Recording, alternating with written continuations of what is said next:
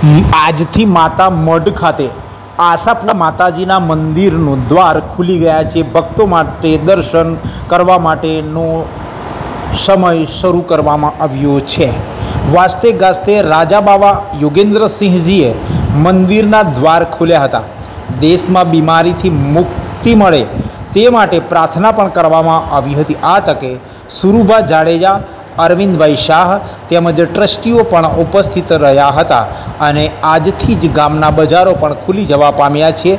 ત્યારે ભાવિકોમાં આનંદની લાગણી જોવા મળી રહી છે.